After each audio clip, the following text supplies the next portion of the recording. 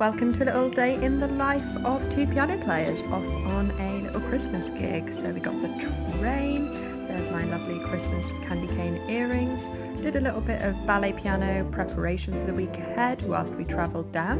and then we arrived in our beautiful location for the gig, got to the church, did our rehearsal with Banbury Choral Society which is who we were working with for the day and then we went for some lovely food after the rehearsal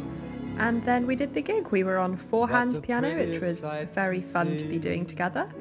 and after that we travelled home and got some sleep.